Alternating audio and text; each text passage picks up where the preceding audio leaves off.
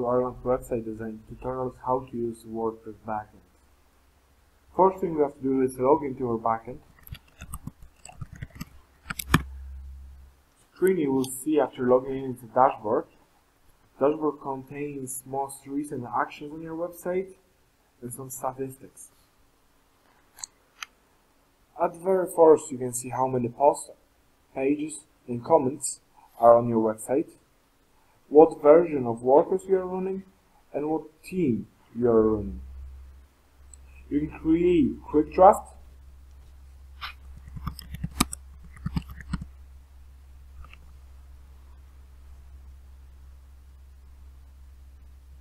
You can see recently published articles, comments, and WordPress news. On the left hand side, under the dashboard, you can see updates. If you click on it, you will see if your WordPress plugins, themes, translations, or WordPress itself needs to have an update. You can check again anytime you want. Reinstall, download newest version of WordPress, or hide this update. If you want to add a blog post, simply click at the post, click at add new, enter new post title, enter the content for the blog post,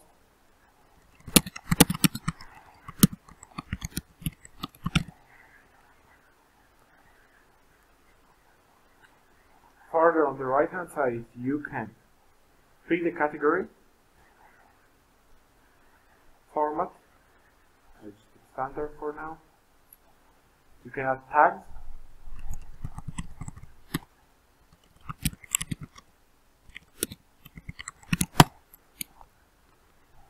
and set up a feature image.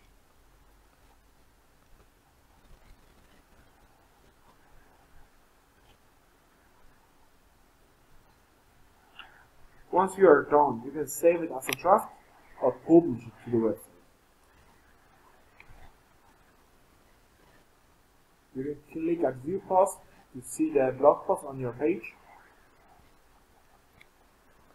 As you can see, feature image, title, content, and some meta description.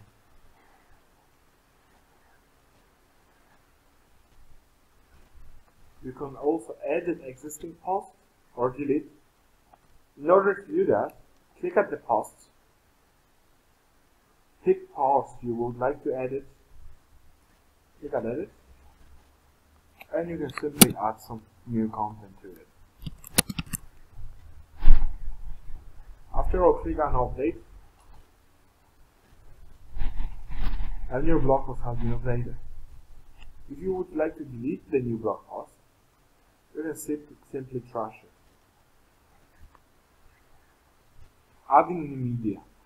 In order to add new media, click at Media in the left hand side menu.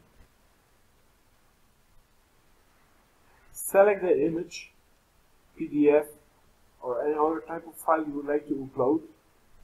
Drag and drop it into the boxes.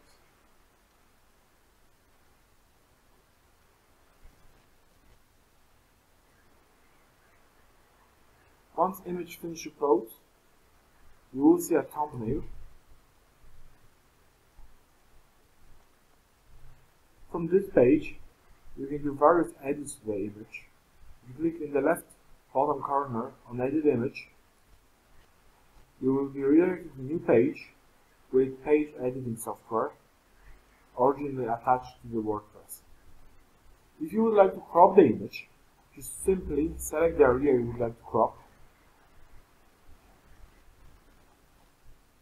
and click on the bottom here.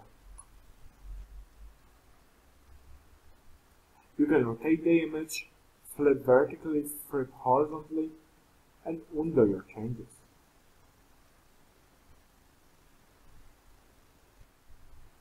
On the right hand side, you can scale the image width by height.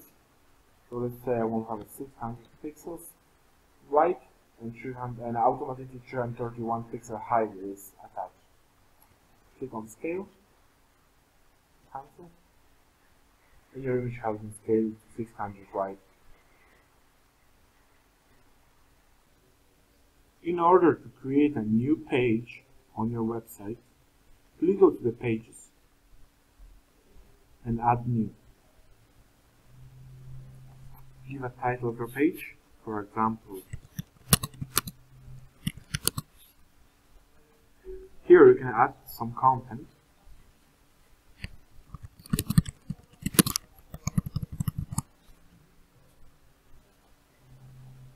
And click on publish. Next step, in order to add your page to WordPress, you have to add it to the menu. In order to add it to the menu, please click on Appearance, Menus, Select the new page from the drop down on the left hand side and click on the Add to Menu button. You can see that new menu item has appeared here. You can reorder this by simply drag and drop. Once you are done, click on the Save menu on the right hand side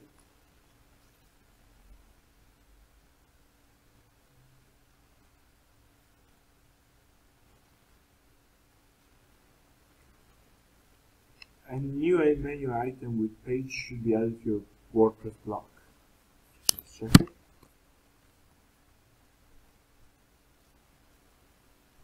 As you can see here, this is title. If you want to add new user, simply on the left hand side, click on the users, select add new, enter their username, email address,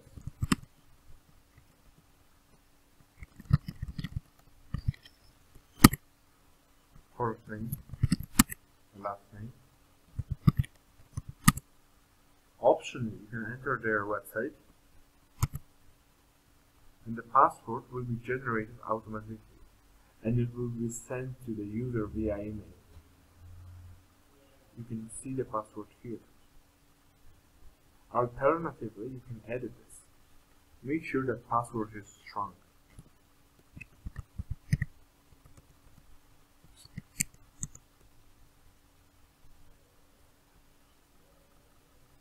Last thing we have to set up for the user is their role on the website. If you click on the drop down, you will see different roles. Select the role for the user which is suitable, and add new user to the website.